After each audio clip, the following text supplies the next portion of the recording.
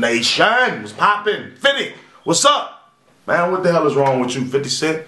Looking like a damn sexual predator trying to kiss that chick. She was scared shitless, man. You the only black man at Daytona 500 and you trying to kiss her? That shit shit's not finna slide. Don't you know how many racist motherfuckers who go to shit like that? Not to say everybody racist who go there, but I'm saying they probably got some original Klan leaders in that motherfucker. And to see you get to see you kissing her, that's not a good look for her.